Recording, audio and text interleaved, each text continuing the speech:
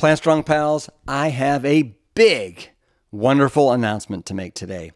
We are over the moon excited to announce our latest whole food, plant based product that we are launching into the universe.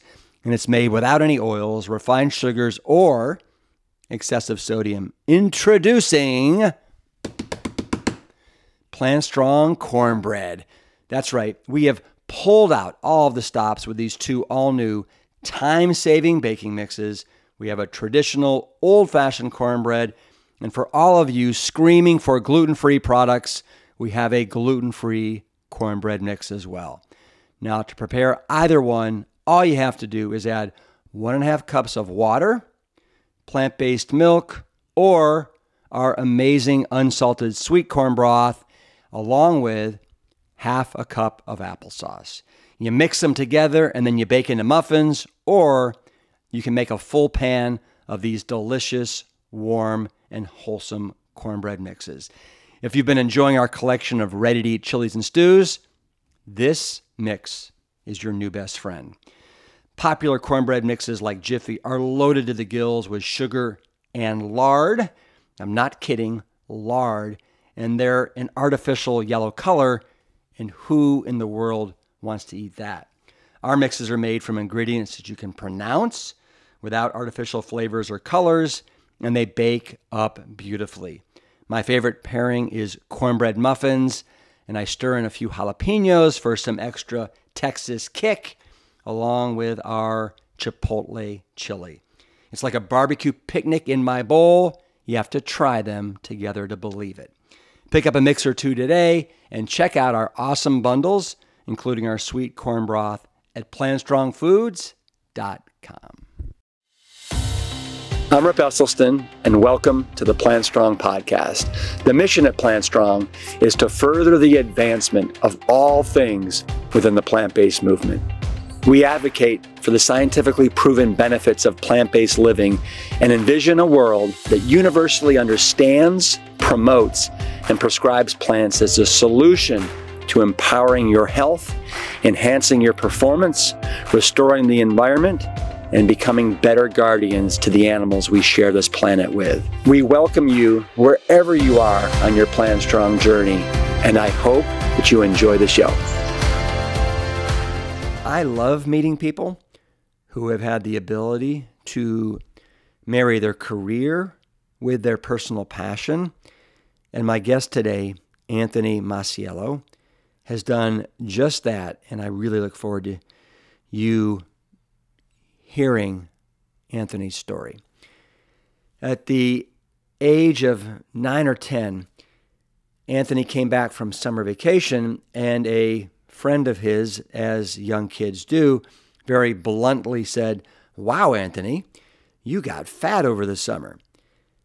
And this was the first time that Anthony became aware of any kind of excessive weight. And then what happened is, eventually in high school and beyond, Anthony would tip the scales at well over 360 pounds.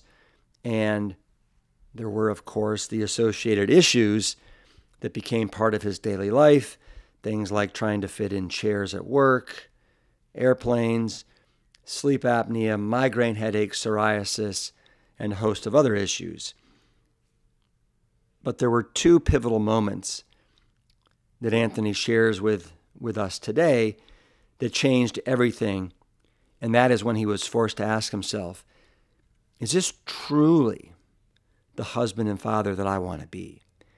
And it was that question that became his motivation. And today, not only is Anthony a much healthier person inside and outside, but he is also the co founder and CEO of the new plant based telehealth practice, Love Life Telehealth. And he and his team of plant based physicians are now changing the way that healthcare is practiced through the lens of whole food plant based nutrition, making it accessible and easy for patients to get the care and attention that they need and deserve. And I can tell you, if I had a nickel for every time somebody asked me, hey, Rip, do you know a lifestyle practitioner in fill in the blank, Cleveland, Ohio, uh, Hudson, New York, Boise, Idaho, I would have a lot of money.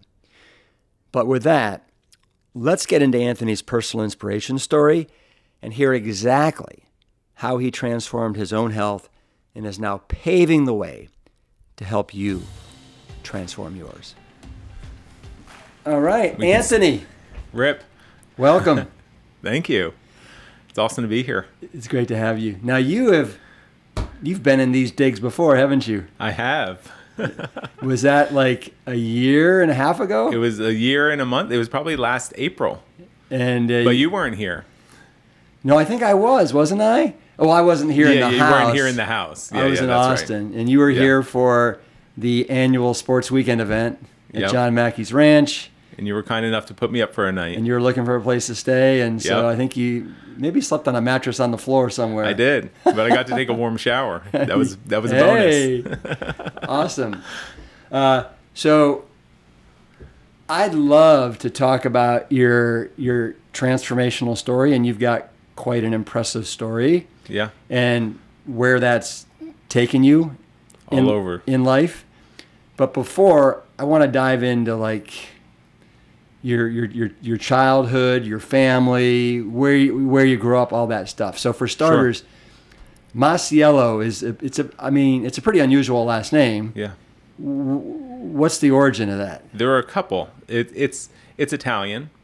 Um, both of my father's parents came over from Italy. They're they are my father's first generation um, American Yeah. in our family, and uh, they came over to Queens, New York. My mother's family came over. Maybe she's second generation, but they were also they immigrated from different areas. I think combination of um, Sweden and Germany on, on her side. And my parents met in Queens. They went to the same high school, although they were on different ends of, of the same high school. And I mean, uh, a different age, you know, four year age difference Right, there. right. But um, yeah. And then they, then they, my father was the first person in the family to leave the neighborhood in Queens, and he moved out to New Jersey for a job. And um, and everyone else, well, until until maybe two or three years ago, everyone else still lived in the same neighborhood in Queens, New York. And my father was the only one who was out out of the city. So uh, probably is your father still alive? Yes. So, what was it about your father? Do you think that uh, gave him the gumption to go outside the uh, the confines of the neighborhood? Yeah, I don't know if he was pulled out because of work, but he he was always into a lot of stuff. So he, um, I think he was just a little less traditional, probably than everyone else. He was a little more, you know, my my grandparents very much wanted my father and his sister, their their two children, to be American, to the point where my father or his sister they don't speak Italian, but my grandparents you know that's their that's their native language and and so some of that looking back it's a little bit unfortunate but in that you know in that era you know in in the you know in the 1940s 50s in, they very much wanted they were excited about being in america Yeah. and they wanted their children to grow up american. So and then he went for the job but i think he was just a little bit more outgoing. He traveled more. I think he was the first person to take my grandparents on an airplane, hmm. Um, and that probably wasn't even until they were both retired from from work. And, and what was your father's occupation? He was working. He was working at a warehouse for Fedders, the air conditioning company, and and Fedders was on a mission to to basically roll out home air conditioning before anyone else, and it was these window units at the time, and he did some kind of operations work in the warehouse there. And it started off in New York, but then the, the company moved their, their headquarters and their plant out to New Jersey, I guess, where they could probably get more space and uh, a little bit cheaper. And he went with the company. What about your mother? So my mother went with my father, and then, but my father didn't work. He we lived in New Jersey. I forget how long he. So he's in the same house that they moved into in New Jersey, the house that I was. You know, uh, I was born and came home from the hospital into that house uh, 50 years ago. So he's in that house, and he worked for Fedders for for a period of time, and then um, they had changes or they moved again, and he didn't want to move. So then uh, he shifted, and he opened a bagel shop in Delhi, and that's that's mostly what I remember of him because that's where I worked from about age 12 on was was in the bagel shop in Delhi. Wow! And so, Yeah. does he still have that? No, he closed it down in about 2005, 2006, um, after I think 28 years. Something And like so I want to I want to come back to the bagel shop and if you think that was at all like responsible for some of your weight Yeah. gain. Yeah. you know, growing up, but it wasn't a great environment for me to be in all day long. yeah, yeah. wow, uh, okay, yeah. So I mean, yeah, I can share a little bit about that about that now. But you know, uh, so I would go pick up the bagels with him in the morning at 5 a.m. You know, he he's a true um, kind of roll up your sleeves entrepreneur type. When he opened this bagel shop, it was a, it was a franchise, but we had to go pick up the bagels in the morning, and it was open from 5 a.m. to 9 p.m. gosh, And then afterwards, we cleaned up afterwards. So like he was there all the time. And my parents split up when I was younger. So my mom and brother and I moved to North Carolina. She took us to North Carolina. So we spent our summers and our holiday, Christmas holidays in New Jersey with my dad. But now he just had this business, like I said, when we were about 12 years old. And so he was there from 5 a.m. to 9 p.m. And as a 12 year old, where am I going to be? I, I was there with him from, from 5 a.m. To, to 9 p.m. And, you know, we sold the hostess cakes and the Twinkies. And we had, obviously, we had the bagels and it was a deli. So we would make like uh, cold cut sandwiches. And not only that, but right next door to us was a pizza, was a pizzeria, you know, and, and in the same strip mall. So like everything that I ever could have wanted was right there at, at my fingertips. And the problem for me or the issue for me was that I wanted that stuff.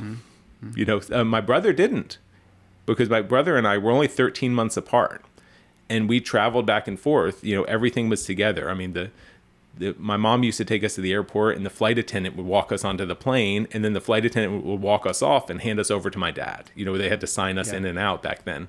And um and uh, so we were together all the time but he didn't he i guess he didn't care for that stuff as much as i did or he didn't have something in him that, that so made he him want so he wasn't stuff. drawn to the um, the highly processed, right calorie rich, fiberless, waterless foods like you were. let's call it what it is a, cho- a chocodile which is a chocolate covered twinkie like those he wasn't drawn to those in the same way that i was Um, what was the name of your father's deli? it was called the bagel smith okay, the Bagel, Bagel Smith, Smith, and so yeah. that's a, a franchise. It was a small franchise, started locally in that area, rural New Jersey, Clinton, New Jersey. Uh-huh. And there were only, I think at max, there were only about 10, 10 or 12 of the stores, but he owned, you know, he owned his location of that franchise. Um, did you have a favorite bagel?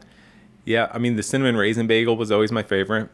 Um, the green bagels on St. Patrick's Day, they, they became a favorite. They literally were just green. There was no flavor in Yeah, them. yeah. There was food coloring in them. That's that's all there was. But you know, there there was a lot of fun stuff like that. Um, you know, I, I got introduced to r- really good bagels when I came here to Austin. And I can't remember the name of the bagel place, but I had my first jalapeno bagel. Oh, And I at first I was like, "Oh, this is just a weird, sick Yeah. combination, right? Is this a joke?" And it's one of my favorite now. Yeah. jalapeno bagels. Right? Yeah. Also And- like the sesame, sesame seed, right? I, I like those also. Yeah, but yeah, the, the the creative ones we used to have some of those once in a while, but um, we I don't think we ever had jalapeno. But I've had jalapeno bagels other place, and back when I was eating cream cheese, like a jalapeno bagel with cream cheese on it was good because you had that spice and then you had that cool cream cheese and um. Mm-hmm. Yeah. Yeah. you can tell I probably enjoy food. What's the secret to making a really good bagel? Do you know? Well, what what the what the the Bagel Smith bagels, what they were prided on is that they were real um, water bagels. They're called. So so what happens is you shape the dough into the bagel, and you let it sit so that it it kind of holds its shape, and then you boil it, Yep. and you boil it for a period of time so that it develops like a like it, it cooks the outside and then after you boil it then you can put the seeds or whatever on top of it and or or plain. Obviously the cinnamon raisin bagel is already incorporated before it gets boiled. And then when you bake it the outside gets a, a little bit you know the dough on the inside cooks but then it maintains a skin. Like you can almost peel our, um, our bagels. Like you could peel the skin off and then you would kind of still have Fluffy the, inside? yeah you just have the inside part left because of the the boiling process. I'm always amazed when I go to New York City I always have to have a New York City bagel, and how those bagels taste like no other bagel. Yeah. And I don't know if it's the water or what. I'm not sure what it is, but they're but they're bigger. They're a little bit fluffier than are. ours are. They were bigger and a little more, almost like they didn't boil them as long or something like that. Yeah. But I mean, it, it, bagels are a little bit like pizza to me. Like like there's so many different types, and I like them all. Mm-hmm, mm-hmm. Never met a bagel I didn't like. exactly. Now, so you, growing up, it was you and your brother, who's 13 months. You said younger than Yeah, you. yeah, 13 months. Younger. What's his first name? Mike? Mike. Yeah, Got it. And are you and Mike close? yeah, we're very close. He lives now in Bethesda, Maryland. Um, we were all living there. Him and his wife, and me and my wife were living in Bethesda for a few years. We overlapped there, and then um, Kathy, my wife, and I moved back to New Jersey to the same town. Um, she, her family's in the area too, and when we were starting a family, we wanted to be back there. Oh. My brother stayed in Bethesda, but we still see him on holidays, and it's only a three-hour drive, so we go back and forth, um, you know, a few times a year. Yeah. So you so you like New Jersey? Yeah, where we are in New Jersey is really nice. Wow. It, I mean, we've got hiking trails. We've got my wife went and I just went out and did a gravel bicycle ride, and we went, um, we went like 26 miles or something, you know, without without um, seeing a car or going on any pavement, you know. So like we have a lot of that kind of outdoorsy stuff. We have canoes. There's a little river in town that we can, um, you know, canoe. We can go point to point on the canoes to the next town, or we can just stay above these waterfalls and treat it like a lake. It's it's a really nice kind of outdoors area. It's it's Hunterdon County, New Jersey, and um, Sounds charming. yeah, it is. Thank you. That's a good that's a good way to describe it. Yeah. Now, so it, let me. I want to get back to kind of your your your weight gain Yeah. growing up. So, at what age did you know start to notice or somebody comment that hey Anthony, you know you're getting a little heavy? Yeah, it was between the fourth and fifth grades. So I guess that's probably between nine and nine and ten years old. Um, what happened was I left North Carolina, um, you know, right after school ended in the fourth grade, and I got on the airplane and I went and spent the summer in New Jersey um, with my dad, my brother, and I, and I came back to North Carolina, Yeah. and my friend, his name is Woody, and uh, when I Last s- name's not Harrelson, is no, it? Yeah. Woody Odell. Uh-huh. And the the first time I saw um, I saw Woody after I came back, he's like, "Wow, Anthony," he said, "You got fat over the summer." And he just said it like that, and it wasn't like he he wasn't even making fun of me. He was just observing. You know, like that's what that's what happened.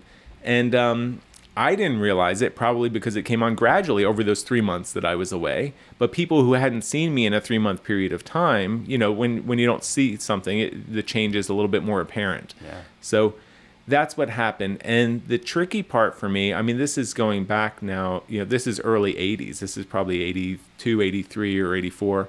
And there weren't a lot of overweight people in, in my school, right? In fact, there were two in my in my grade. It was me and a, and one other kid.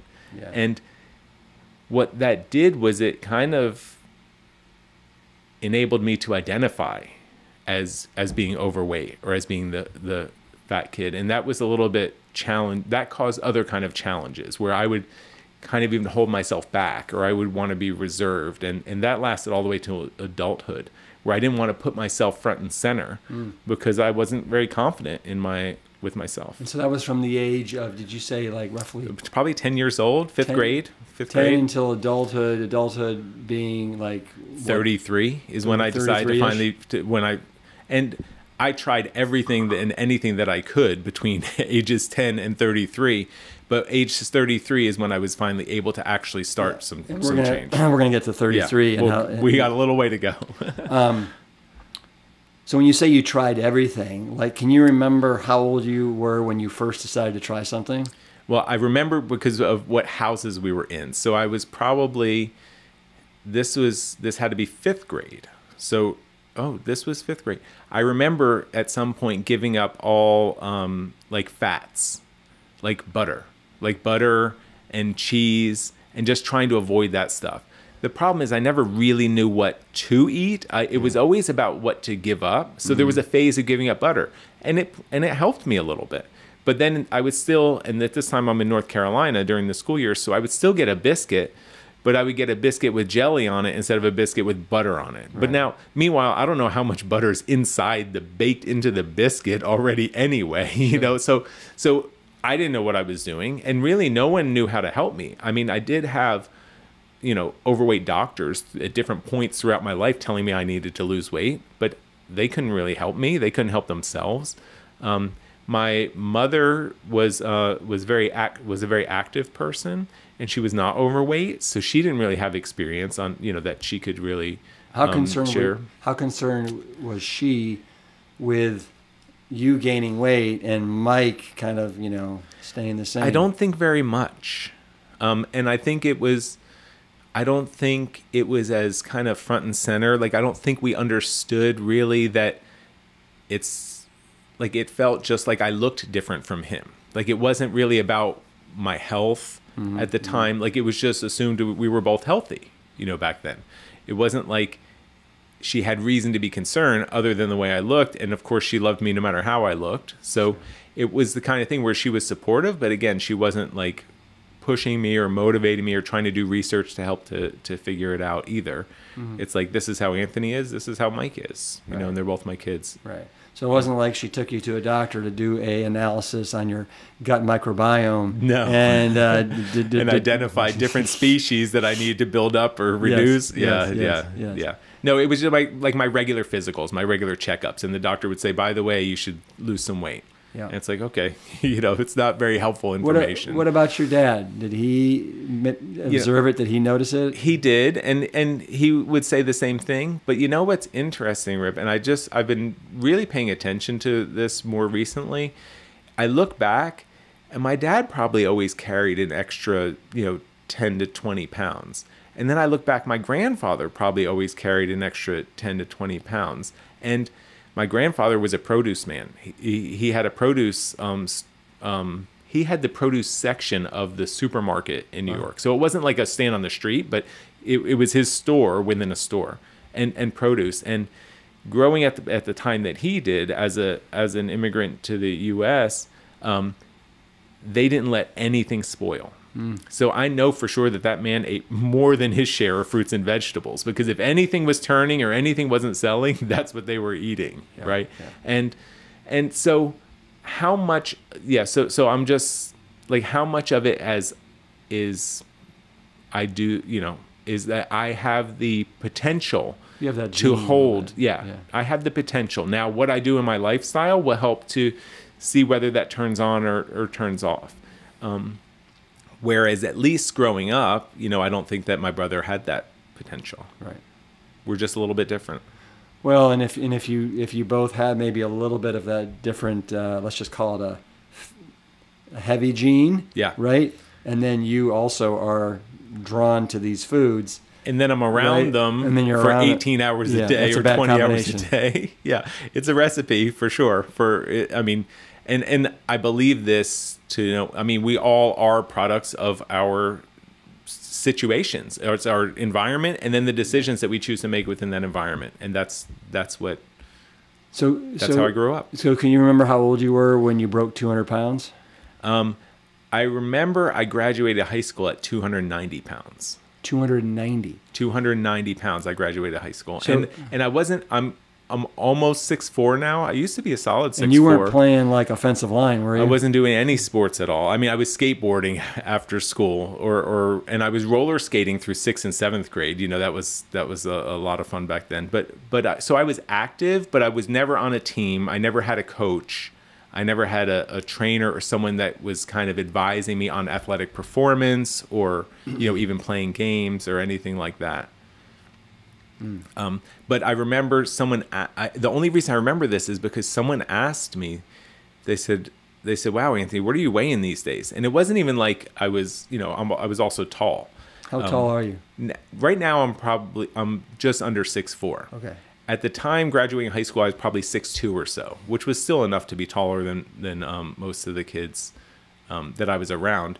But I remember someone asked me, and and I said about two ninety, and that was right at that was I think at high school graduation. Um, so I don't know when I broke two hundred, Yeah. but it, clearly before high school. Well, it, it's it's a, it's incredible to me like all these guys that I swam with Yeah. At University of Texas, and we all weighed, you know, really within 10 pounds of each other. We were all between 165 to maybe one 185, 20 Yeah. pounds. Yeah. And that was back when we were, you know, 19, 20, 21. And today, uh, a lot of these guys are 270 to 300, Wow. right? Wow. And one of the things is, you know, you're, when you're training that hard, you're also consuming a lot of calories. Yeah. So you're you're burning a lot of those calories, Yeah. and you but you build up this appetite that is it, it's hard to to moderate. Yeah, it, it works in balance when you've got the activity level to match it. Exactly. And it, as soon as you turn one up or down, then it's not balanced anymore, Yep. right? Yeah. But I, I, I say that because there's probably a lot of people that are listening Yeah. to the podcast right now that have since high school they've probably put on a good Yeah. 50 to 100 pounds and they're probably sitting here wondering like how in the world did that happen you know it, it's 20 years later now and i'm i'm 80 pounds heavier than i was when i graduated from high school Right. And and even probably non-athletes, I mean, back 20 years ago, we were probably uh, much more active. You know, maybe we didn't have sit-down jobs at the time or maybe we were playing with our friends after school or maybe we had to ride our bike, you know, a half hour to get to someone's house or some, you know, all of those things count, Yep, right? yep. As activity. And as soon as you take that away, again, it still messes with that balance a little bit. so you say 290 when you graduated from high school Yes. Do you remember at all, like ninth, 10th, 11th, 12th grade?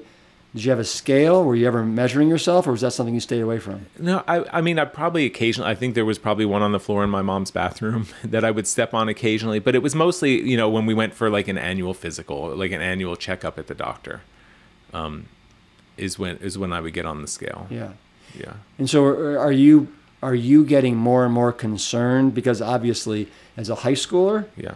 That that's 290. You're not playing football, so it's not you're not supposed to be you know Right. big and intimidating. Right. You're just you're just big. It sounds like because obviously you got the gene, and you also you're surrounded and you love uh, Yeah. all of the pleasure trap foods. Yeah. Yeah. Right. Yeah. So I think what was happening to me more, I wasn't, again, I wasn't concerned about health. I was concerned about cosmetics, right? Like how I looked and how I felt like I presented myself. By this time, I'm not shopping for clothes where my friends are shopping for clothes.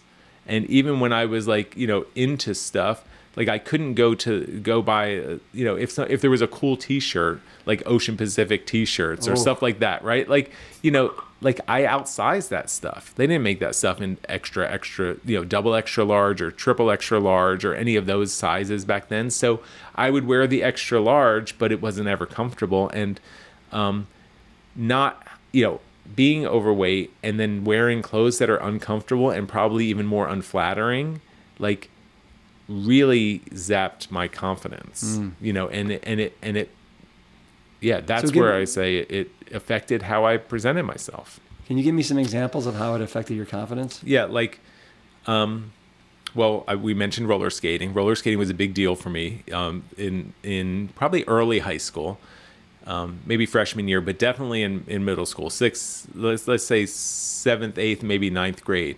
Roller skating Friday night and Saturday night, right? And then they had different things, like they had the roll the dice, they had the speed skate, and then they had couple skates.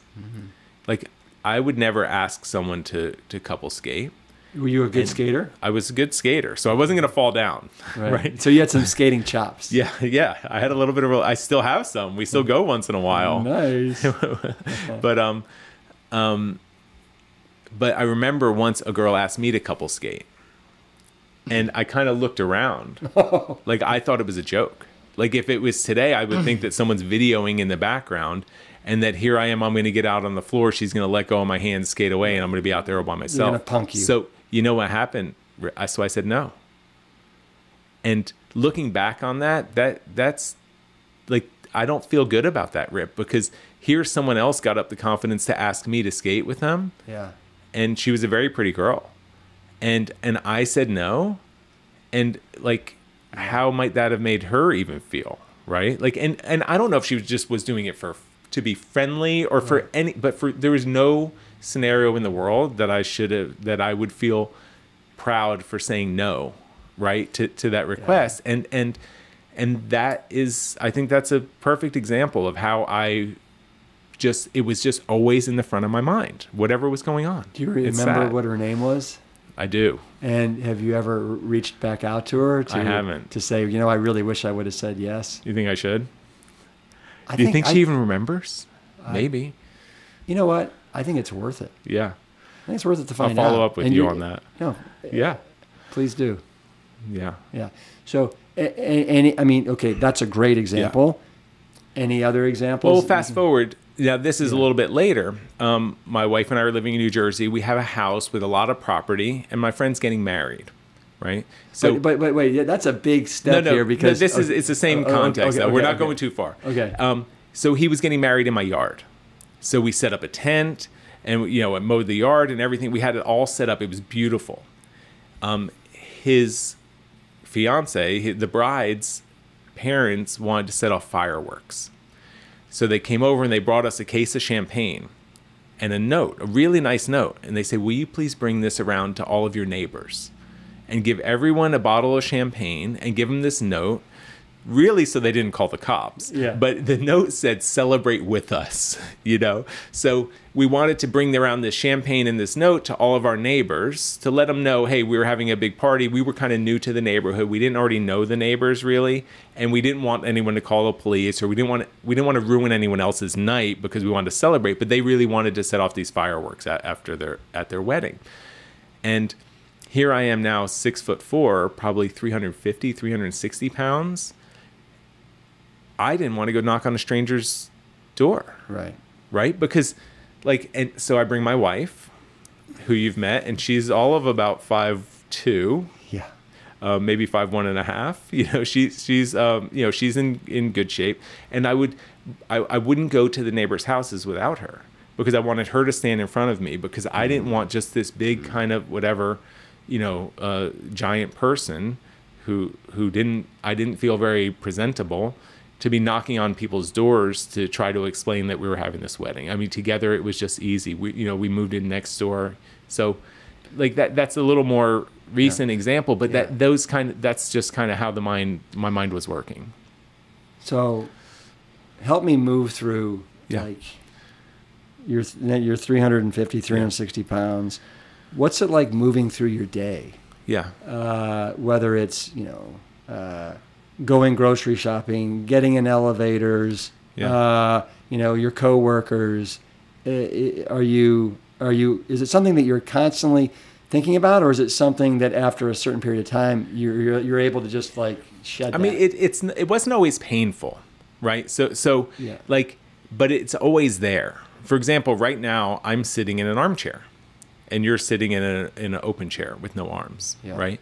Whenever I went into a meeting at work, I would always have to get there early, and I would scan the rooms to see which chairs don't have arms in them, because I literally did not fit in an armchair. oh, because you'd sque- Yeah, I was too wide. And if there were only armchairs, I would try to find a chair in another room and bring it in there. You know, sometimes they had stacks of chairs in the corner for like overflow, right? They had the regular, but, but like, so I just was that these things were automatic to me, Rip. Like I had to make sure because I couldn't go sit in a room for two hours in pain because I could fit in an armchair, but I had to basically sit, hover above the arms and push to squeeze myself in between them. My legs were smashed together, like sideways, and I sat there. I don't want to say painful. It was painful probably at times, but uncomfortable Yeah. for the entire time. Same thing happened on an airplane. You you know I I would travel for work, and um, I would be flying by myself, and I'm walking down the aisle, um, and I just feel all eyes on me, in, with everyone who has an empty seat next to them. And as soon as I pass, I almost sense like a sigh of relief, right? So like there are those kind of little things, you know. I I would have to order all of my clothes. I couldn't just go into the store and try things on. You know, they probably didn't really fit properly anyway because it's a different shaped body than what they're really designing clothes for. Where would you order your clothes from? It, well, big and big and tall. It was casual mall, casual male, big and tall back then. Now I think it's called like casual male XL. I mean, I'm I'm very grateful I'm not shopping there anymore. But but that's the reason I was able to have clothes, yeah. um, you know, uh, in those kind of, you know, in those late teens to to um, through my 20s. So so there were all of those kind of little reminders that were just always around.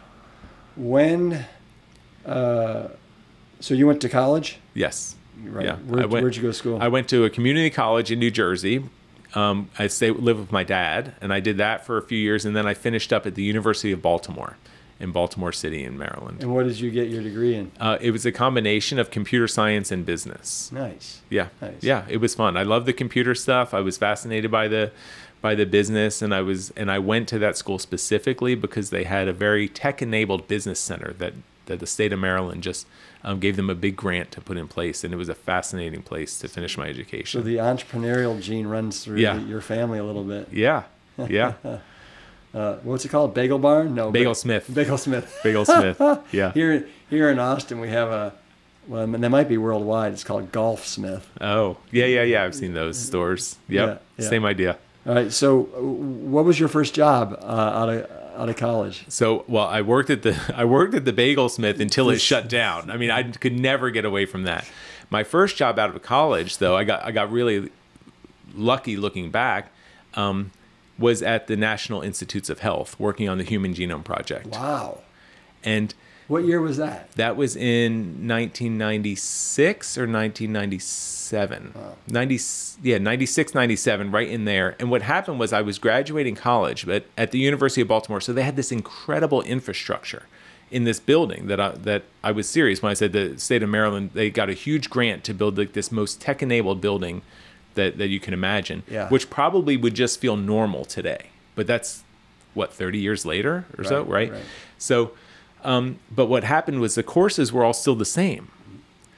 So my friends and I, my school friends and I, would just spend all our time in the computer labs, and we taught ourselves how to do internet programming, and not not building websites, but building websites that could talk to databases, mm. and and web applications and web tools. And we knew how to do that. We learned how to do that in, you know, like 96, 97, where it wasn't really a thing. Like there were no programs you could go to for school for that. We, we in fact, we did, um, we put together, I guess it's like a petition or something to bring in an instructor to teach us the Java programming language.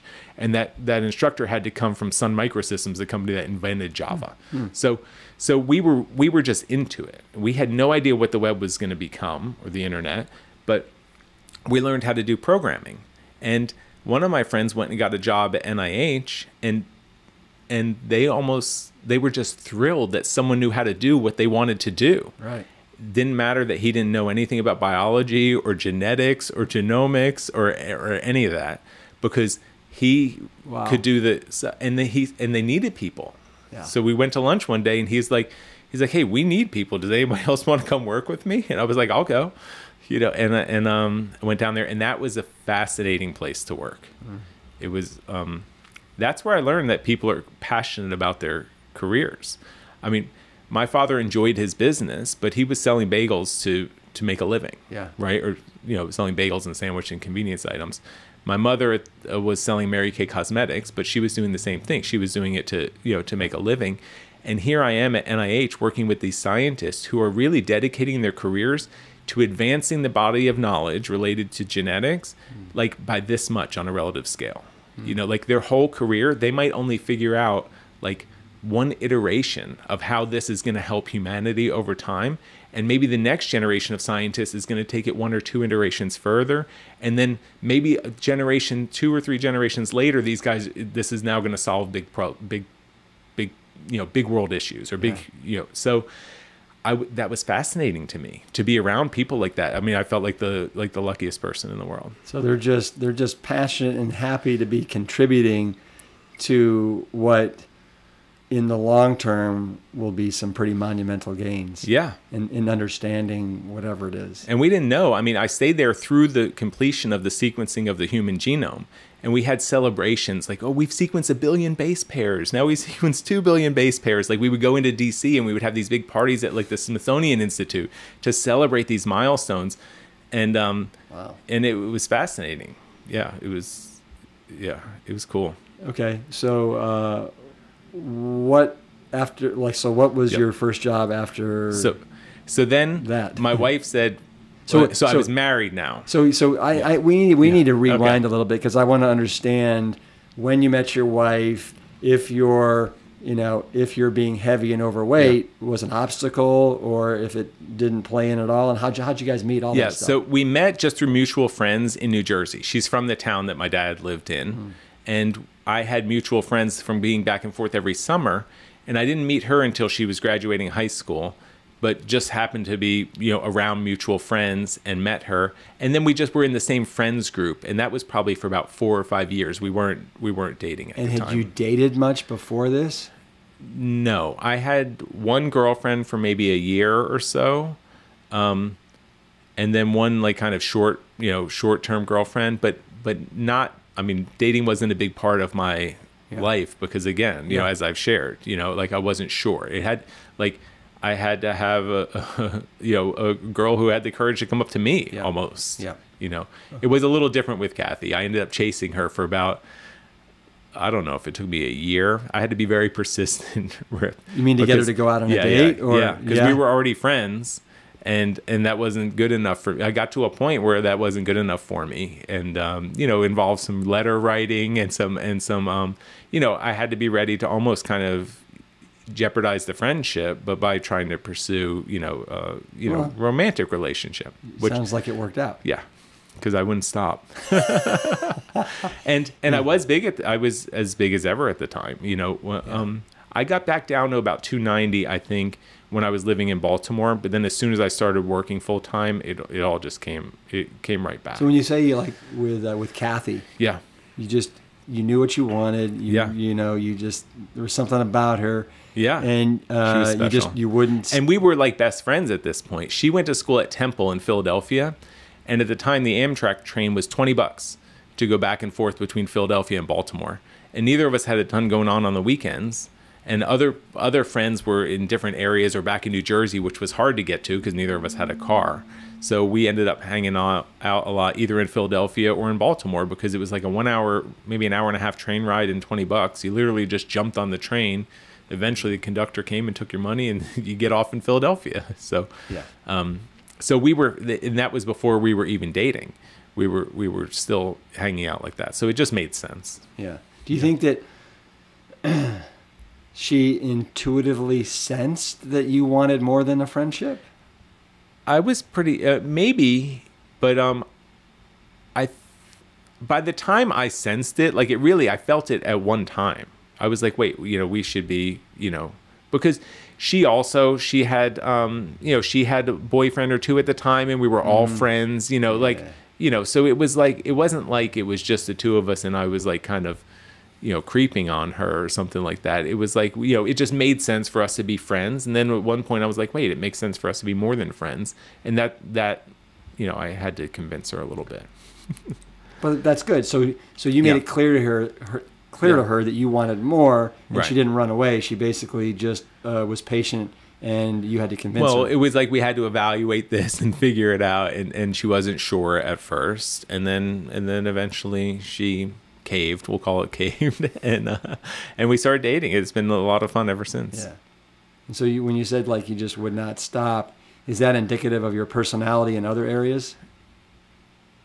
Yes. Yeah. Yeah. I can be persistent. Uh huh. Uh huh.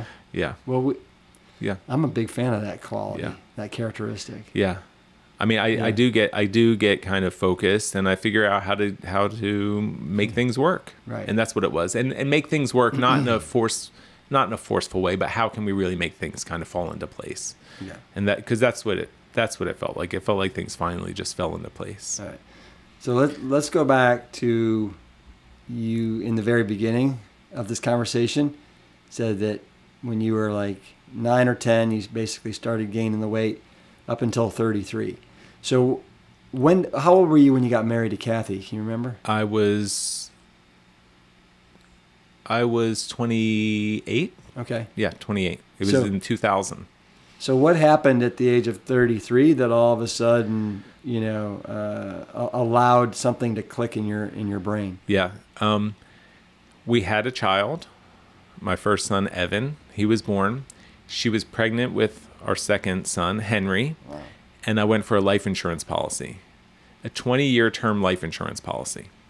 And I went for another policy. I had I had had life insurance, like a smaller policy, you know, um, when we were just married and would, before we had kids, and and it was enough insurance. But now I was being advised that now that I have two kids, I have a mortgage, like I want to be able to take care of. If something happens to me, I need to be able to take care of them.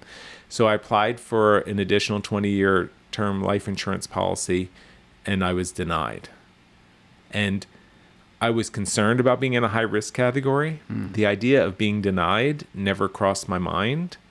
But when I read that letter, um, I knew what that meant.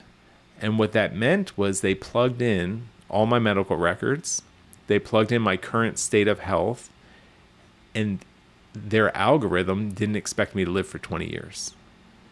And it scared me. So, uh, Yeah. but up until this point, are you are you on any medi- medications? Have you been in, in and out of the hospital much? Like, did your medical records? Was there something in there? Yeah. That that Well, well, that's what. So it was. It was a, a combination of everything. So I had not been in and out of the hospital at all, and I think that would have scared me. Also, I was on medication for high blood pressure. Um, it was roughly controlled. I think my doctor was okay that we had it down to like 140 over 90 um, on two medications. Yeah. So that was high. I had, even through college, I always donated blood. And I would say half the time, maybe a little bit more, I would get a letter from them saying they weren't able to use my blood why? because there something in the chemistry was out of whack. And they didn't give me detail, but they suggested I go see a doctor. But I, I didn't go see the doctor. I would just wait till the next time I could donate blood and see if it got any different, right? But so I wasn't I wasn't shocked. But anyway, so they always told me my blood pressure was a little bit high. I was always told my cholesterol was a little bit high. Um, so by this time now, before the life insurance policy, I was on two medications for blood pressure. My cholesterol was about 220 or so, which was just enough where I could kind of convince them that I was going to do something about it. I didn't really have to go on medications because when they talk about these medications, they said once you start, that's it. You're on you're on it forever, and that scared me. I didn't I didn't want to do that. Um, I had eczema on my fingers where the, the fronts of my fingers would crack and peel and bleed. I had psoriasis behind my neck where the skin would get flaky and it would be almost like an open sore sometimes. Yeah. Um, I was recently diagnosed with sleep apnea. Um, Does that I- mean were you having to wear the CPAP? Or? See, everything I did, Rip, I'm like, I don't want to wear that machine at, at night. They sent me for a sleep study, and it was easy for me to dismiss the sleep study because I'm sleeping in this room in the hospital with cameras on me, with wires connected all over my, you know, all over my body and and um and my head, all these things taped to me. I'm like, you can't judge my night's sleep on this one this Yeah. one night you know and so so i dismissed it so i didn't want the cpap machine you know all, all of those all those things and um, i would get migraine headaches and I had a prescription for a, for a medication that would help with migraine headaches that i think i was supposed to take all the time to prevent them but i would just try to take it when i got them but it didn't it didn't really help. So i think and then by this time i weighed 360 pounds. I had a 54 inch waist, and I have all these health complications. Now, now any one of these things I could talk to one friend about because I had other friends with high cholesterol, I had other friends with high blood pressure, I had other friends who were overweight. But I guess this whole my understanding is this whole package didn't give me a good outcome. My my liver enzymes were always high, my triglycerides were always off the chart. Yep, You know, all all this stuff. I wa- I wasn't healthy. I just, I just want to ask you before we continue Yeah. is so you're 360 pounds, 33. You've got a, a child. You got one on the way. You've been married for about Four years at that point. Four years. What does a typical day of eating look like for you? I mean, was it? I mean, Yeah. I, I'd love to understand what that looks like. Yeah, and this is this is hard because it doesn't look that bad. On well, I don't I don't think right. So I wouldn't have anything for breakfast, um, or if I did, I would have coffee. Sometimes black coffee, sometimes coffee with cream and sugar, right? and I w- I wouldn't eat breakfast.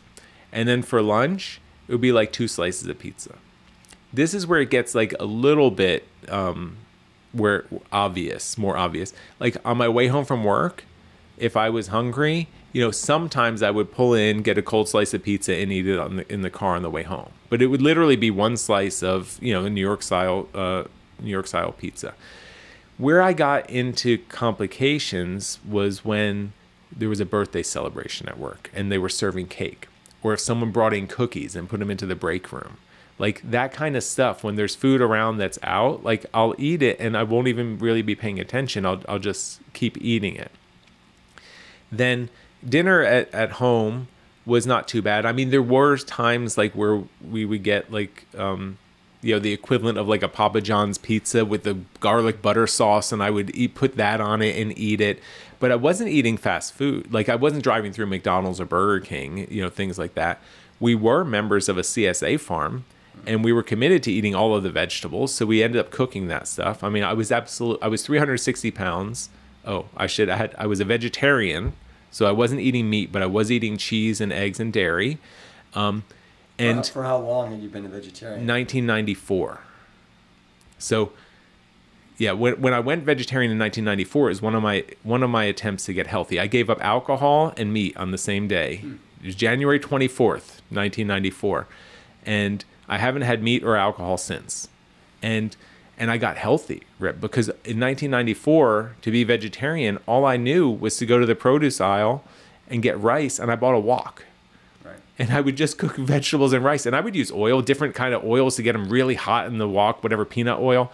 But like it wasn't in comparison. But then slowly, vegetarian to me became cheese pizza, or or you know vegetable stuffed pizza with had which had top and the bottom or pizza with the garlic butter sauce on it like that was vegetarian or cheese omelets or my go-to no matter where I was if I needed to eat was a grilled cheese sandwich mm. which is white bread butter and cheese you know sometimes I'd get a slice of tomato on it like you know big deal usually with an order of french fries so there was that kind of stuff but then in the evening like it could be a whole pint of Ben and Jerry's ice cream you know, and and a I pint or a half gallon or no a, a pint just because the Ben and Jerry's came in the pint, yeah. right? I think what, it's a what pint. Was your, what was your flavor of choice? Do you know? Well, chubby hubby. because I didn't, I didn't, have to share that one, Rip. Because I told Kathy she already had a chubby hubby. She didn't need any of this ice cream. Well, it, it, it, it was your signature ice cream then. chubby hubby. I mean, it's chocolate covered, peanut butter filled pretzels in a mixture of peanut butter ice cream with chocolate swirl. Like it's like that's like made for me. yeah, that's making my mouth water right now. Sorry. Probably with disgust. Well, it's yeah. actually it's actually not because yeah. everything about that sounds so good. Right. I mean, they had the salt in there, and yeah. the you know I remember obviously I remember it, but that that was a that was a challenging part. And when I was traveling a lot back and forth, I would travel used to travel to Boston for for work at the time. Um, that at this time now I was working at Novartis Pharmaceuticals, okay. and and the hotel was connected to a grocery store, so I didn't even have to go out to eat. You know, I could just go to the grocery like, or even if we went out to eat, if I didn't get dessert and I wanted to, when I came back to the hotel, I could literally go over there to the freezer section and and I can't save half a pint of ice cream when I get it there. I had to eat the whole container. Yeah. Because I didn't have a freezer. Yeah, and you're not going to waste any no. ice cream. So so when I say it wasn't too bad, there was too much dessert stuff. There was I would overeat when I was in an environment where there was food around, but I was also eating, you know, vegetables and I wasn't eating meat and I wasn't drinking alcohol. Yeah. Well, what's interesting is, you know, I've had other guests on on the show, like Adam Sud, yeah. Chuck Carroll, yeah, uh, Ken Lander, and I mean these guys like fast food junkies. Like multiple times a day. Multiple times a Cars day. Cars covered. Adam's apartment covered with right. Yeah, yeah. It, it, yeah. It, it's it's it's egregious how much time they spent, how much money they spent at fast food restaurants. Yeah. And that doesn't sound like it was the case. It wasn't me. me because I was 360 pounds and I could not wait for fresh asparagus season to come in the spring and I would make egg white or or or asparagus omelets with either egg whites or with with whole eggs. But like yeah. that fresh asparagus, like that's still that's I mean that that I look forward to that every single year, Rip. Nice. Like still. And does the asparagus make your urine smell? Yes, it does. It does. Okay, so you've got that so gene I've got too. that gene too. All right, I'm blessed with all the good ones. I've heard it affects fifty percent of uh, yeah. Uh, of people. All right, can we, let's let's come Yeah. back to 33. You got Yeah. denied at with your 20 20 year term life insurance, and your jaw kind of hit the ground. Yeah, that that that was a 20 year death sentence to me. Like Yeah. that means you're not going to make it 20 years. Yeah. You're you might, but they don't tell you if that means 5 years or 15 years or whatever, right? It's just not 20. So to me, that means I'm not going to see my kids graduate high school. yeah, You know, my my Henry wasn't born yet. yeah. you know and and i wasn't going to see these kids grow up and and then so i thought about that and it scared me but the best thing that happened from from that denial let, uh, letter is it forced me to take a really objective look at what my life was really like and when i did that i wasn't i wasn't happy with it because not only was i not going to be there but i started to imagine what is life going to be like in this state leading up to whatever might or might not happen right like am i going to be having any fun am i going to be an active part of these kids lives Yeah. am i going to be someone who's just on the sidelines all the time i mean And so, how concerned was uh, was your wife Kathy with, you know, you at 360? You've got one child. You got one child on the way, and you're denied. Is is this something? Are you sharing your feelings with her, or or not? Yeah, but she's an incredibly supportive person. Uh-huh. And she's not as long sighted as I am. So she wanted me to always feel okay in the moment. So she was always very comforting. She was always very supportive in those ways, but not like we have to do something about this. It's like, it was more like, whatever you feel, it's okay. Whatever you want to do, I'll support you. You know, let we like things like that but not like hey we should use this as a wake up call to to you know to do something differently. That all came from like that was kind of brewing inside of me. And you think that Kathy, looking back, just was was doing the best that she could? she's and- very accepting she's a very accepting person. She i i really believe in a very sincere place that she didn't feel like she needed to change me and she probably didn't think long enough ahead to think of how it might have affected her. You know she's like we're we're gonna be fine. You know it was, it was that kind of tone. Well, this is yeah. this is fascinating. yeah. So, um, all right. So, yeah. what so happened? so so there's one there's one instance that that kind of sums it up for me and it was really my it's the moment that I still go to when I need to. And and and me and Kathy she's pregnant now with Henry and we have 18 month old Henry. I mean 18 month old Evan. And we go to the local church carnival comes to town right? And already we talked about I don't fit on an airplane so there's no way I don't I don't fit on the rides at, at the carnival. But my kid's 18 months old and you know at 18 months old you can kind of tell that there's a person in there and they they have things that they excite them and things that make them upset. So we were thrilled as new parents. Like i always wanted to be a dad. Like i couldn't wait for this right? So we're go we're at the church carnival and i'm holding evan and, and we're walking with kathy and uh you know there's lights and bells and noises and all this exciting stuff going on and he's just kind of fascinated with all of it. And we turn a corner and there was a train uh, like a kiddie train ride that went around just in a small oval. And he starts squirming and pointing, and he was probably saying like Thomas or something because he had Thomas the Train toys at home and all this stuff. Realizing now that he, this is probably the first time he ever saw a train that he could actually fit on. We didn't have trains around where we, you know, where I lived in New Jersey that he would see. Maybe he thought trains were toys, but now that he saw one that he could ride, right? So we were excited that he was excited and we go to we, so we walk over to take him on the train ride. And just as naturally as could be rip i hook my thumbs under his armpits you know to take him from my chest to hint him to kathy so they can go on the ride. And he he wouldn't let go of my shirt you know? And i thought oh he wants me to take him on the train. But there's no way that's happening. This isn't an adult size ride. This is made for kids um, even though Kathy was very pregnant at the time, like she was his best chance of getting on the train. They weren't letting him go on at 18 months by himself. So we go to the attendant, uh, we give the tickets. I'm just grinning ear to ear. He's with Kathy now. He probably doesn't even remember I exist because they're walking towards this train. The two of them get on, and I'm just sitting there smiling. And the attendant kind of like wakes me up a little bit and says, "Excuse me, sir, you just have to stand over here," because I was probably blocking whoever was trying to get on the train next, right? So I move over and I stand, and I'm literally standing behind a metal gate. And while I'm standing there, I'm watching them as they're going just around in circles and they're laughing and they're having a great time. And, you know, maybe they wave at me sometimes when they see me, but they're doing their thing, right? And two questions popped into my mind. Number one, is this the kind of father I'm going to be? And number two, is this the kind of husband hmm. that I'm going to be for Kathy? What else am I not going to be able to participate in? What else am I, is she going to have to do, as uncomfortable as she may feel, hmm. because I'm just physically unable? And and I didn't like the answer to either of those questions, because the answer was yes. That is the kind of husband I was going to be, and that is the kind of father I was going to be. And um, yeah, that was unacceptable. That had that was a problem that had to be solved. Okay, so so so that was a uh, defining moment. Yeah. And and I didn't realize it as much in the moment, but then I get the life insurance policy and all these things kind of come afterwards and and it all just kind of came crashing down to me and that was it. I I had to do something very different. I had to make a big change and I had to figure this out. This was no longer optional. All right, so what did you do? So I set a New Year's resolution. We were, we were in October or so, or November.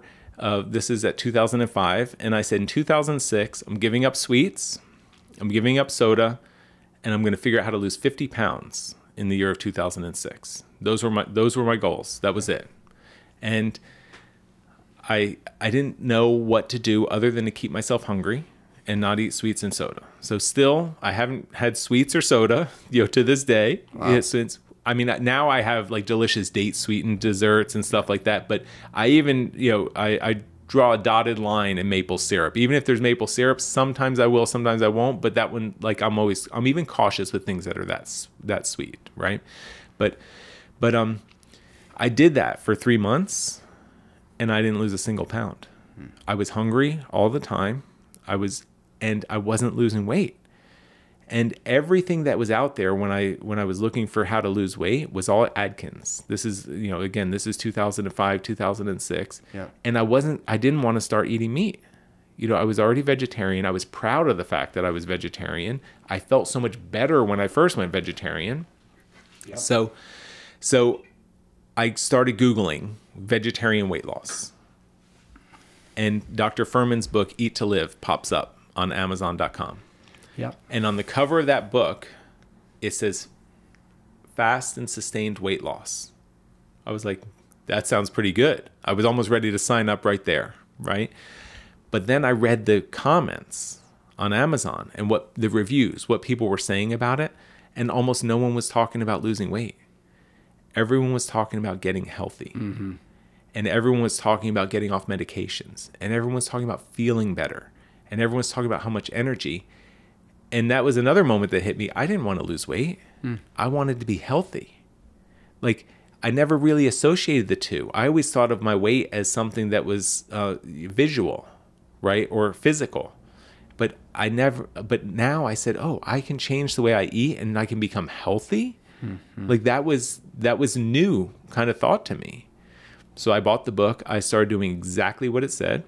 As I was reading it, I started making changes, and um, Kathy did not. You know, she continued doing what she. You know, this was very much my problem to solve.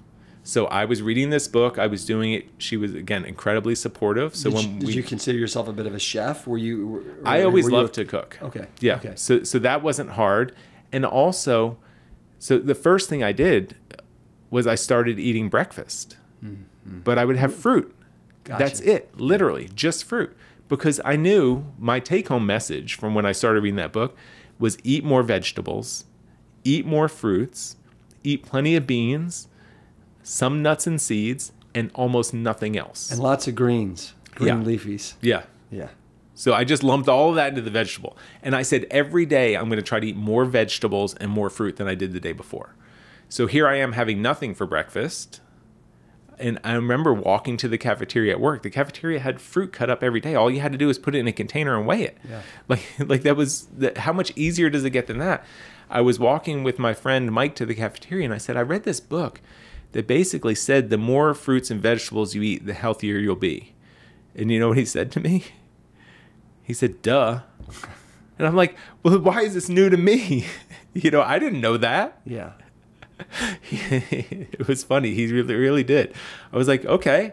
So I, so I would get a pound or more of fruit for breakfast every day, Yeah. and then at lunch I wouldn't eat anything else until I had a huge salad. And then, and we also had a beautiful salad bar in the cafeteria at work, so I could just load it up and make make my salad with chickpeas on top of it or black beans on top of it, whatever they had there, salsa, like just load up a big salad and and Are you having to big. pay for this, or Yeah. did employees no, I had for to pay free? for it. Okay. Yeah, no, I had to I had to pay for it. It was probably subsidized, but it, but it was you know it wasn't any much more than I would be spending to to eat anywhere else. So Yeah. so cost didn't really play into it. And um, I just started eating tons of fruits and vegetables. Three months after I bought the book, we brought Henry home. Henry was born. We came home from the hospital, and oh, I'm sorry, two months. And in those two months, I lost 30 pounds. And pretty much that put me on autopilot.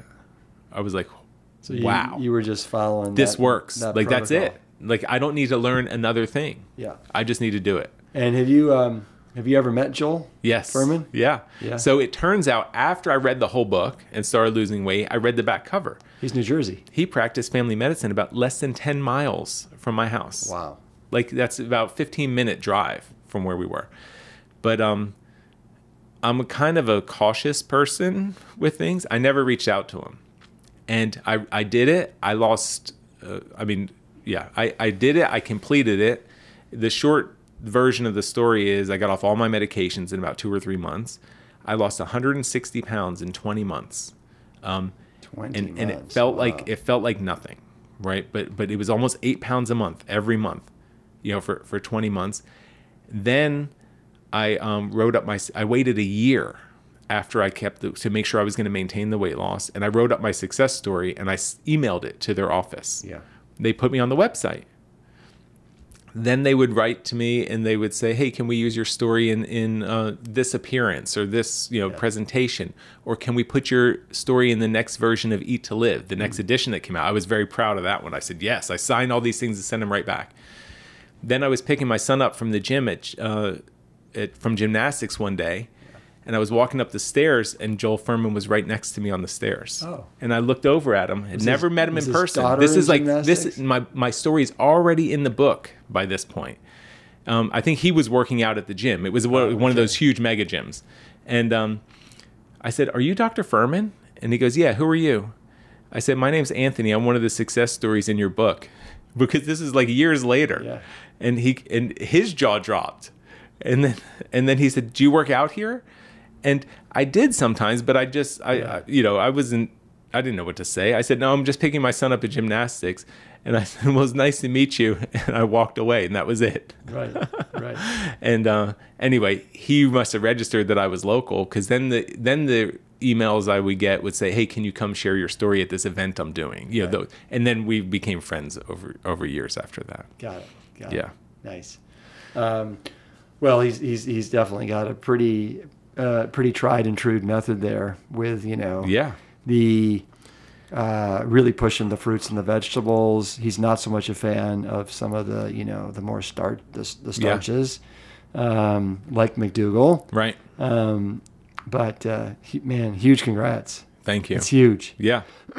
so Yeah. so so my life completely changed in that 20 months. Um, I became more physically active than I ever had before. I started running for fun. That's something I never even crossed my mind. Huge. Yeah. Um, I was now proud of myself again for the first time in my life. I would walk in. I didn't have to go find the the the armless chairs in the room anymore. I could sit anywhere and be comfortable. I could stroll right down the aisle of the plane and sit down in the seat with extra room on either side, and I could use my seat belt. Um, I could play with, you know, going on a little bit later, I could play with my kids the way that they would want me to play with them when we shoot basketball in the driveway and the ball goes rolling off the driveway. Like I don't like sit there and huff and puff and wait for them to go get it. Like I would I was racing them for it and then they're trying to push me down in the grass and you know, like basically it's just the most beautiful, you know, kind of life that I could have ever imagined. Train train rides. Ever, ever go on that train? I did. I have pictures of me back on the train ride with both kids, probably about two years later, on the exact same train. Um, Will you do me a Yeah. favor? You need to send me those photos, and I we can we can put it in the show notes Yeah. of the episode. For sure. That that'd be awesome. Yeah. What about um, um, life insurance? Yeah. It, so I applied immediately. I applied less than two years after being denied, and I just wanted to get it on record that that now I was healthy, and I never expected to get insured, but they actually issued me the policy Yeah. in the premier preferred category or whatever, which means I almost don't even have to pay for it. And it, you know, it's like so. It's so I was in a less expensive category or their least expensive category ever, which probably means now I don't need it anymore. But um, I was surprised that they gave it to me right away. But again, I think that the you know by following this whole food plant based diet and a, and a healthy lifestyle, everything was working. So anything that was ever a risk factor went from being like in the danger zone to being not just okay, but it went to being ideal. And I guess that was enough to convince at least the algorithm. It was the exact same insurance company. You know, I'm sure they had their history, you know, but um yeah, that that was great confirmation because Yeah. that that's not how I look, that's not how I feel, that's how the data represented me.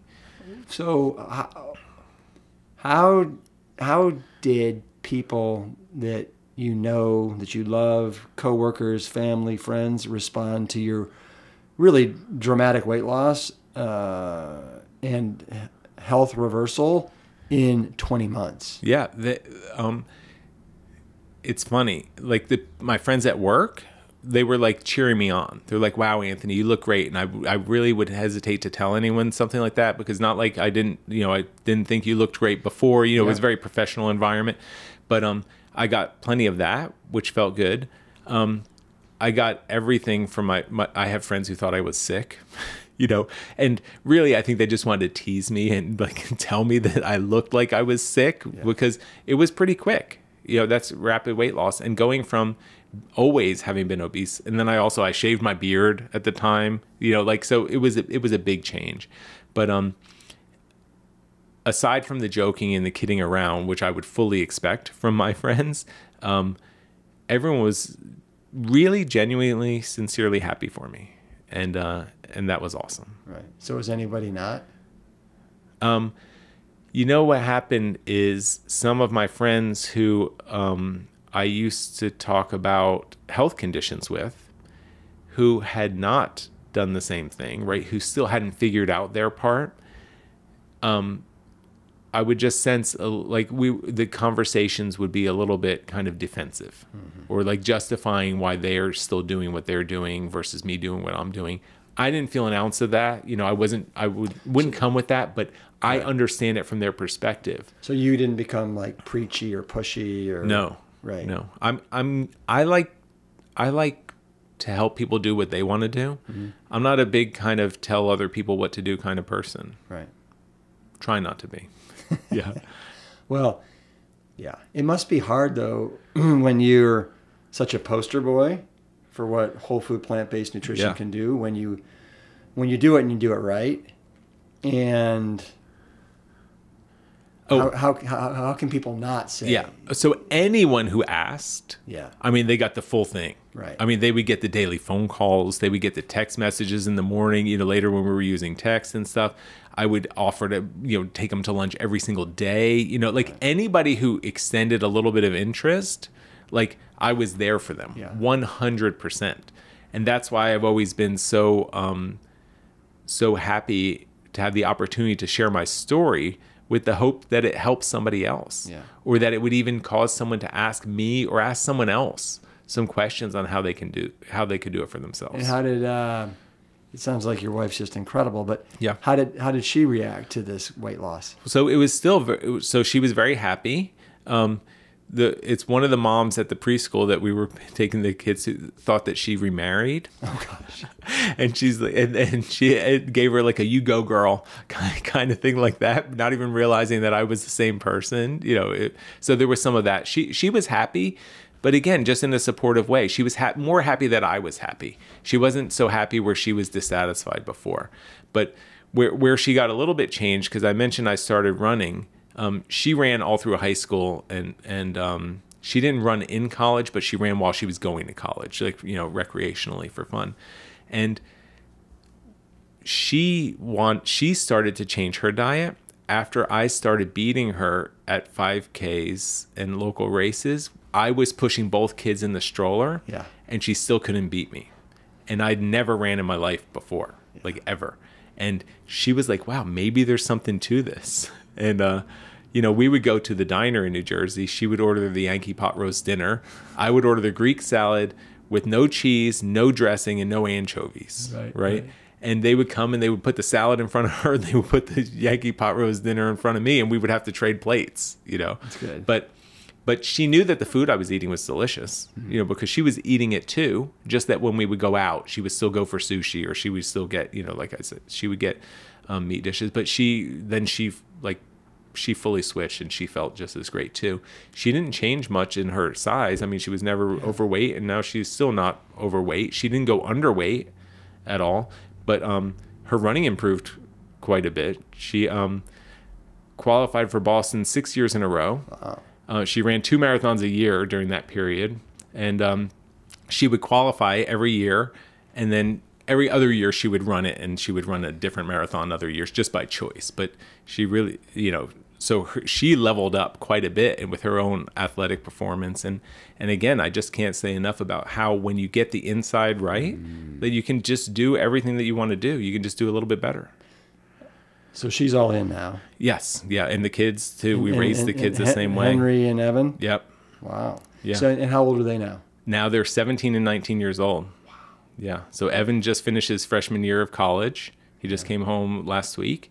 And Henry's finishing up his junior year of high school right now. They both ran cross country all through all uh, cross country and track all through high school.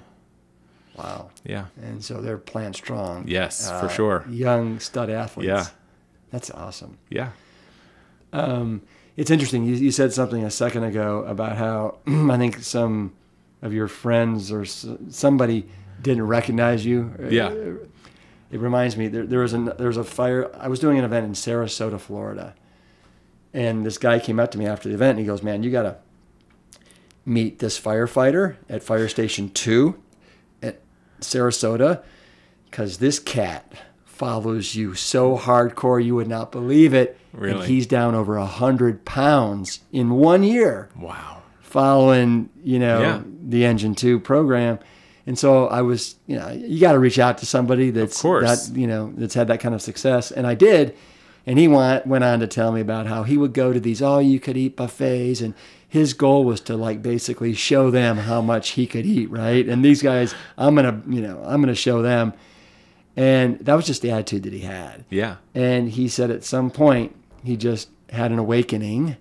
He bought a size, I think he was a size uh, 50 waist, Wow. right? Wow. But he put a, he bought, he went to the store, he bought a size 32 inch waist, and he said he put it on the chair next to his bed. Oh my god. And so it was the last thing that he saw every night before he went to bed, and the first thing he saw when he woke up. And he said, what happened is he hurt his knee in a fire. Yeah. And so they Wow. put him they put him on injured reserve, so he had to work like a desk job for a year. In one year, and he said I couldn't exercise. Oh. I was just following whole food, plant based. I lost 102 pounds, got into those 32 inch pants, went back to work at my station. Yeah. And the guys had no idea who I was. They thought I was a rookie, a new rookie. That's amazing. but it, it is it is incredible Yeah. sometimes uh, what what can happen. yeah. Now, Sometimes that's fun because you can walk right past people you don't want to talk to. But uh, yeah. Do you do you always have the beard, or what's the No, what's it the comes and goes. Yeah. It comes. My wife really likes it. I, I, I like it a little bit less, but uh, you know, it seems like every time she says, "Oh, I really like your beard," then it kind of it goes Right, away for a little while. Nice. Yeah.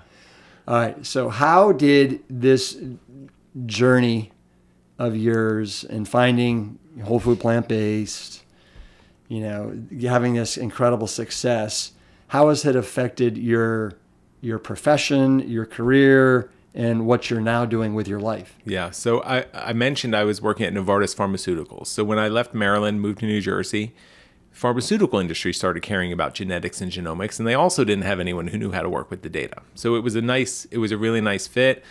I felt great about that because I'm like, wow, now instead of contributing towards basic research, now I can contribute towards real medications and therapies that are going to help people to get well. Meanwhile, I'm working there, s- sick as I've ever been, Yeah. right? And I learned how to recover. I got off medications that I told uh, was told I was going to be on forever. And I'm on this campus in New Jersey that's 500 acres and almost 10,000 people just work on this one location. We're 120,000 people worldwide at Novartis, right? And wow. I would walk around, I would say about 80% of what we're doing here is just to enable people, just enables people not to take care of themselves.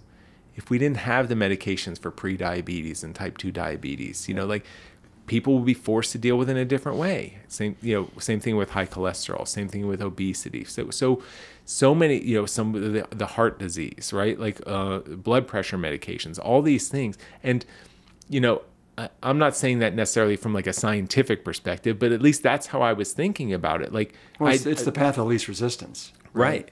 And the medications helped me. Like, if I wasn't on that medication, I probably wouldn't have felt well enough to make this change, right? But, but I was now wanting to kind of evolve my passion one more step. Now, instead of helping to develop drugs, now I would like to help people not to need drugs, mm-hmm. or hopefully to get off of drugs. Um, so, what year are we in now? So that well, that was probably from about the time I, you know, so I finished losing the weight to September 2007. So I probably really started thinking about this all around like 2009, 2010, mm. but I didn't know what to do. Like I didn't know where I was going to fit in. Like the whole food plant-based community didn't start caring about gen- genetics data and genomics data, so I wasn't going to plug directly in. I was trying to figure out what to do. I was helping a lot of people I did go for a health coaching certification. I thought maybe I could do something yeah. with coaching. Um, and then um, my wife watched the documentary The Minimalists. Right. And and here we are living in New Jersey. I mentioned we had this big piece of property. We had a big house. We had a barn, a garden, skateboard ramp in the yard. We had all this stuff. And then we had all the stuff that you need to take care of, all that stuff. And I had almost jokingly said to her before that if we didn't have all this stuff, then like we wouldn't need to make a lot of money to be able to live the exact same kind of quality of life. So so she she came to the idea. I didn't try to push that one on anyone, Rip. Yeah. That might that might have been a game changer for my personal, you know, for my uh, um, marital situation. But um, but in 2018, I left Novartis um, with a loose plan to figure out somewhere I was going to fit into this. But by that time, I felt like I could do that as a responsible parent because we had gotten rid of all of our everything that created expense for us. You know, right. we bought a tiny condo that that we were able to just you know that we were not to have a mortgage on or anything. So so. Um, she was still working part time for NIH. She still does uh, today, right. but that was enough to to keep us, you know, uh, happy and and comfortable while I figured out what to do. And in 2018, I would go around to conferences and I just noticed a pattern. And what happened is when you, you would see a, a physician or a doctor who or a scientist who would go on stage that would talk about you know everything that we've learned about how whole food plant-based nutrition and how now lifestyle medicine can help to prevent disease or even reverse disease then they present some case studies stories like mine stories like other people. Dr. Stancic would talk about how, you know, her and her multiple sclerosis, right? Yeah, yeah. And then they go to Q&A and someone raises their hand yeah. and they say, "Hello, my name is so and so and I also suffer from whatever medical condition. Where can I find a doctor who can help me?" And there's almost crickets. Like there's rare situations. Your father's an incredible, right? Like resource for people with heart disease and they can have consultations with him. I mean, I have personal friends who have had that, you know, with with him for free. But but as far as I know, he's not going to take over their medical care and right. be their doctor. Right. Right. And so, so you know, Dr. Fuhrman had this office in New Jersey. Now he has a retreat center. Dr. McDougall has his space set up here, and like there, there are people scattered around, but there's no, there's not easy access. So I just kind of put one and one together, and I said, well, you know, with telemedicine, this is back in 2019, wow. early, January 2019. Your with, timing could not have been better. With, yeah, with telemedicine, yeah. we can have a doctor who has multiple licenses, and and they can see patients in three or four states back to back. Right. Right. And maybe I knew a lot of doctors who wanted to practice lifestyle medicine, and I knew a lot of people who wished that their doctor practiced lifestyle medicine. The two groups didn't have a place to meet and and that's what that's what we created. It started off as it was called plant based telehealth, and now it's called Love Life Telehealth. And so how did how did how did that transition well, uh, Yeah, take well, place? Well, um, you know, I started it with uh, my partner at the time, Lori Marbas, Yeah. and um, Dr. Christina Miller and Dr. Michael Klaper, and slowly they accumulated more states. We became national, and we brought on more doctors. Right now, we're right now we have ten doctors. Wow. They can see patients in all fifty states, and they can do international consultations. And we were doing that as plant-based telehealth, and then um, we got a lot of interest. You know, people wanted to invest in us. I honestly didn't know exactly what that meant. Yeah. You know, um, we I knew we needed to grow, but you know, I was learning as I was going. You know how to, how to build and grow grow this company, and then we were um, approached by uh, Betsy Foster and John Mackey, and who And wants those to do the same thing. For those that don't know, John is the former now yes CEO of Whole Food Market Stores who stepped down in September of 2022 and uh, quite an entrepreneur. Yes, he, he's an, an incredible person, you know, and, and uh, incredible collaborator. So we have been in conversations on and off um, for about a year on can we work together because it turns out that they were on the same mission. Like the mission is to change the way healthcare is practiced. Um, we were a little bit further along, but their vision was much, much more grand Nice. than, than what we were doing, and at some point it just made sense to to partner and to do it together so um so we we kind of we jumped in with them you know and and and they acquired plant-based telehealth. We've just rebranded it as love life telehealth and we still have the ten, same 10 doctors who are seeing patients in all 50 states in international consultations. So anyone can go right now and have an appointment. And what we're working on now is how can we design um, other programs and offerings, including like a monthly, you know, like a monthly model, like a year long program that, that patients can pay monthly over time to be part of a longer term experience where we can really help to provide the full set of support, not just the not just the doctor, the medical care, but also coaching and education and community.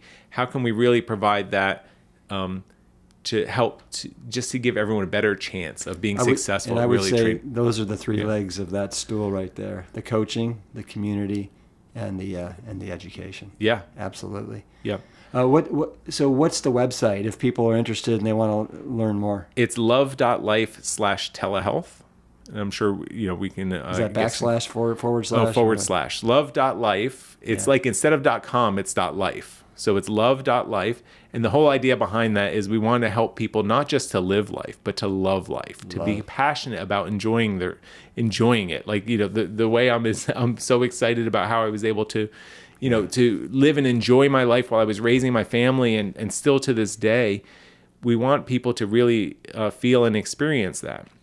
So it's love.life forward slash telehealth. And uh, or if you just go to love.life, then there's a button there that to get to telehealth. And the and the doctors are yeah, doctors are available to see patients everywhere. And they're they're some of the most incredible Yeah. people that I've had the opportunity to work with.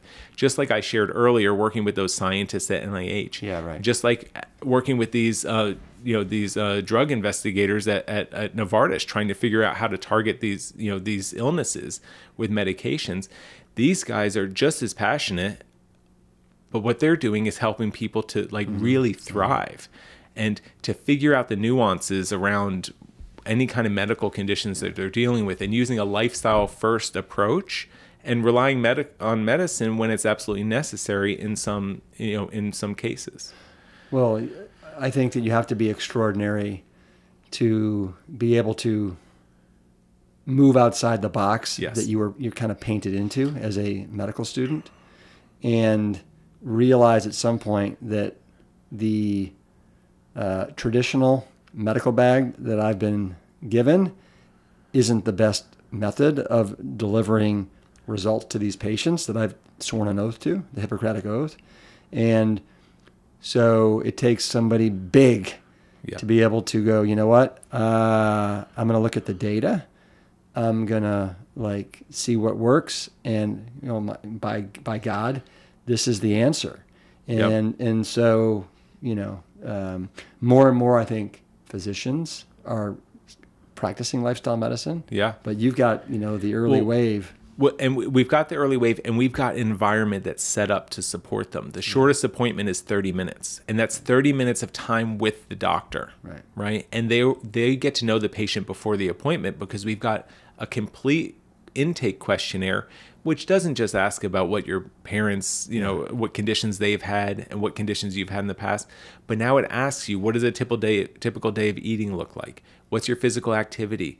where do you have strong and, and um, social connections where do you find joy in your life you know what do you do for physical activity and they take all of that and they put that into a complete package for people. So now they really get to know you before the appointment. Now you can start working together. And you can you know they can ask clarifying questions to understand and then it's the patient's goal. Like what do you want to achieve? Like oh i would i would love to you know lower my cholesterol without medication or i would love to i just was diagnosed pre-diabetic. I'd love to not become type 2 diabetic. You Well, know and they have they can work with the patients to do all these things. I had a swimming buddy that he had his, I mean, complete blood work done, like from A to Z. And he's whole food plant based. He had about six or seven markers that he had some questions on. So I sent him to Christina Miller yes to basically with a 30 minute appointment so we could just go over those and and they could all be addressed like for example a low white blood cell count which when you're whole food plant based right sometimes is very very natural Yeah. and absolutely fine but he was able to have all these um, concerns addressed and he feels so much better for it So- yeah see and and, and, and, and here's and here's a physician that specializes in whole food plant based Right. and can understand you know the, the nuances of the numbers Right, because if he went to another doctor, just you know, a, a regular you know um, family practitioner or something, they might start asking him questions like, "Where are you going to get your protein?" or Right, "How are you going to get enough calcium?" You're going to develop osteo. Like they can just confuse the situation and still, to your point, never answer the real question that he wants to know the answers to. Is like, is this because the way I'm eating in my lifestyle, and is it actually a risk factor for me? totally. Or not right? So it sounds like he got the it's not you know because of probably because of this whole suite of everything else Yep. that she's able to make that determination. Very much so. Yeah. Uh, so it sounds to me i, I love uh, that you're now like you're loving what you're doing. You're you're loving life. But like it, loving dot life. Love dot life yeah. And and um yeah it just feels like everything is doing what is where it's supposed to be. To have my personal career aligned. I almost felt like i lived dual lives before. You know i would be working on, on on pharmaceutical research during the day and then the evening i would be going to speak at uh, you know um at one of Dr. Fuhrman's new events in New Jersey to help people to understand the power of lifestyle. And and it was they were never really like conflicting. I wasn't hiding one from the other ever, but but they weren't aligned. And now it just feels like everything is aligned. And um and it's a it's a wonderful place to be. wow what a Yeah. And I get to help people in a way that I really, really, truly believe in. yeah well you know you and i go back you came to Yeah. Plantstock In 2017, I think it was the last one up in uh, 2017 Claverack. Yeah. and there was a bunch of you guys bunch of Yeah. former big big boys yes. that got up and, and, and, and talked. And there was also like a little mini documentary that was made starring you guys. Too, Yes, yes, that was. Big Change the film. That was our Yeah. friend Jason. Yeah. and um, and that was Tim Kaufman and Josh Josh. Yeah, I mean Josh LaJaunie, I, I give him a lot of credit for getting a lot of us together. Yeah. Um, we we all kind of started to know each other, you know, at different phases of our journey, and he created what was called the Missing Chins Running right. Club, and uh, we got to get together in Colorado a few times to do some runs together. But I mean, it was always so nice, and I'm sure you experienced this. That but somebody who has made this kind of change for themselves, and somebody who like the passion that you develop for life and for and the appreciation for being able to go for a run do something that simple. The appreciation for being able to sit in an armchair right now like like to talk to be around 10 or 12 or 15 people or maybe you know over 100 of us when we're just online you know in, in these in our facebook group like not having to explain these things to people was am- amazing. Mm-hmm. Yeah. But I, I like we had a blast up up at Plantstock and it, that was an incredible experience yeah, in yeah, itself. It, it really was. Well, I've got to Yeah. go pick up my daughter. oh yeah and uh, I've got to go I- back to work. and you've got to go back to work. But this has been spectacular. Thank you. Thanks, thank you so much for coming on the show, being so open, and uh, and share and sharing you know this incredible uh, life journey uh, and transformation with us. Thank and you. And I wish you all the best with Love Life Telehealth. Like knock it out of the park.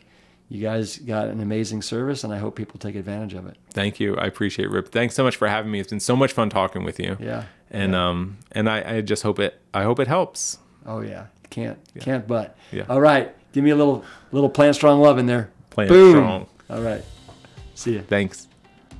I want to thank Anthony for answering the call and connecting the dots on a huge need, which is access to plant based physicians. Doctors are now available to see patients in all 50 U.S. states and Washington, D.C., and for lifestyle medicine consultations internationally. You simply visit love.life to learn more. And that's it love.life. No dot .com, no anything like that. It's just love.life. All right? Thanks as always for listening. I'll see you next week. And In the meantime, keep it plant strong. Thank you for listening to the Plant Strong podcast. You can support the show by taking a quick minute to follow us wherever you listen to your favorite podcasts. Leaving us a positive review and sharing the show with your network is another great way to help us reach as many people as possible with the exciting news about plants. Thank you in advance for your support. It means everything. The Plant Strong podcast team includes Carrie Barrett, Lori Kordowich, Amy Mackey, Patrick Gavin, and Wade Clark. This season is dedicated to all of those courageous truth seekers who weren't afraid to look through the lens with clear vision and hold firm to a higher truth. Most notably, my parents, Dr. Caldwell B. Esselstyn Jr. and Ann Crile Esselstyn. Thanks for listening.